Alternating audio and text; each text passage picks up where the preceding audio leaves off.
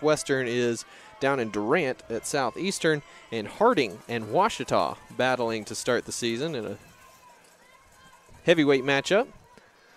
Ball is deflected and it's going to be intercepted by Dylan Meador at the six yard line.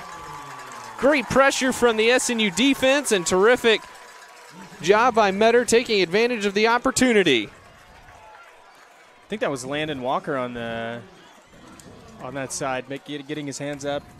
Couldn't quite tell who deflected the football, uh, but man, what a what an incredible